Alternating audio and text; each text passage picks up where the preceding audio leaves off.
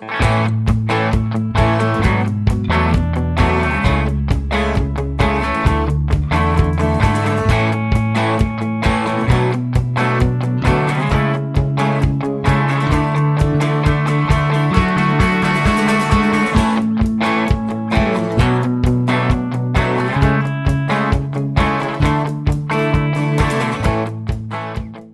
history is American history. The contributions of African Americans to the development and the consistency of this country are um, as important as any other contribution, either of natives or of immigrants. One of the most important, I think, is that it gives institutions and governments the opportunity to highlight the contributions of African Americans um, in American history, which is often, unfortunately, continues to be excluded.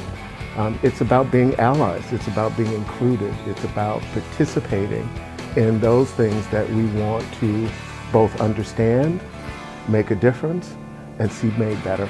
I really see Black history and its celebrations as an opportunity to really um, learn from each other and uh, build bridges and community across cultures. Um, learning about the legacy of African Americans um, is, uh, is an education in resilience both individual and collective resilience. It's the only month out of 12 months that African American culture is actually celebrated.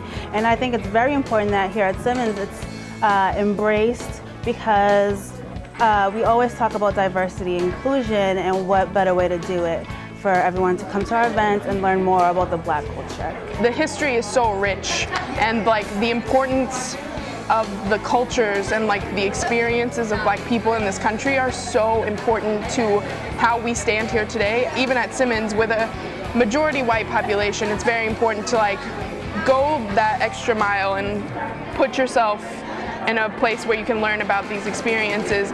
So much of the foundations of this country has been brought by black people and um, recognition is really important. It's really important to be able to have a different perspective and to give, um, I mean a month isn't even enough, but it's a start.